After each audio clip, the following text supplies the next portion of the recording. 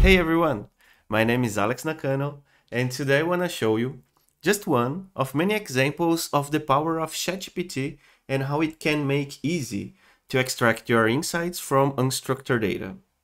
And just to remind you, this is the first of a series of videos we are going to show the power of ChatGPT AI and Alteryx.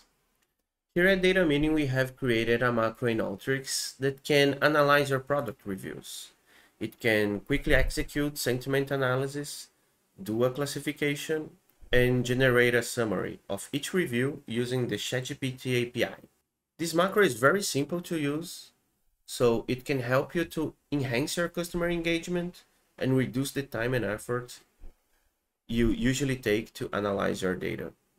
So I'm gonna jump into Alteryx here to give you a quick demo. I have here a product review sample. I'm just gonna drop it inside Alteryx canvas. And I'm gonna click it so you can see the preview of the file. So we got here the title and we got here the content.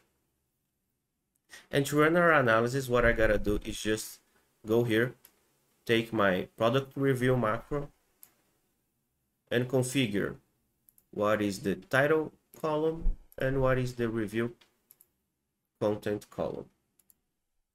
And I go here, add a browse after so we can check the results and I'm gonna hit run.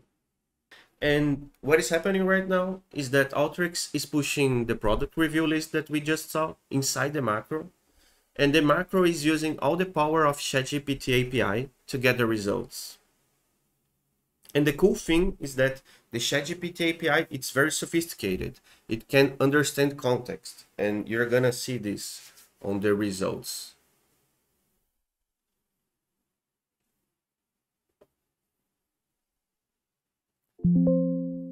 So we got our results here.